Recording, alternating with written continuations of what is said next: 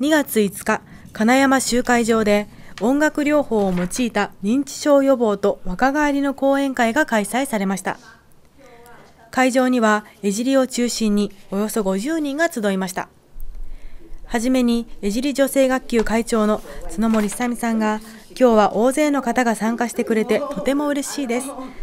歌って笑って楽しい時間を過ごしましょうと挨拶しました。この日講師を務めたのは日本音楽療法学会四国支部支部長の三崎めぐみさんです。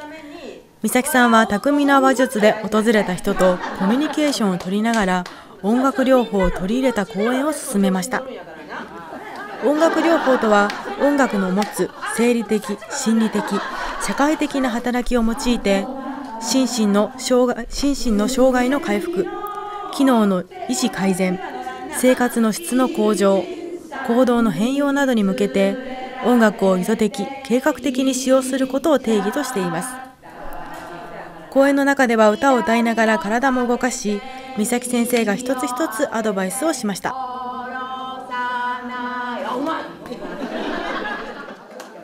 なる足を鍛えるってことはやっぱり大事ですね。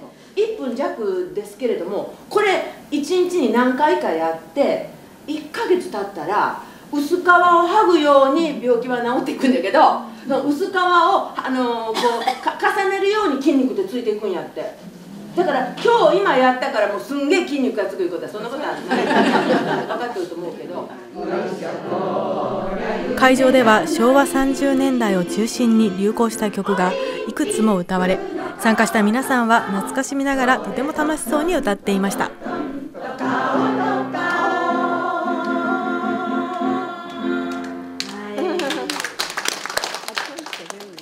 大変良かったです美咲先生に一度お会いしたいと思いよったけど叶えられてありがとうございました。非常に良かったですね。なんか分かりやすいし明るくなるしやっぱり先生の人柄がね出て良かったです。あの頃の歌はよく覚えてるんですけどね、懐かしい歌で良かったですね、はい、楽しかったです。月1回あの先生にお勉強してます。本当にあのお腹の底から楽しく歌えて。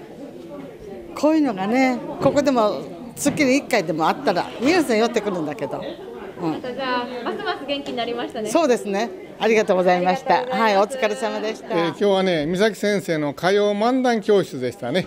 えー、とても楽しかったです。はい、大いに笑いました。これからね、こういうことを何回もやってもらいたいと思いますね。はい。やっぱりこう笑うっていい、ね、そうですね。はい、笑う角に服着たるですね。はい。いじり女性学級角森会長によりますと今後も定期的にこうした講演を開き皆さんの楽しみにつなげたいとしています。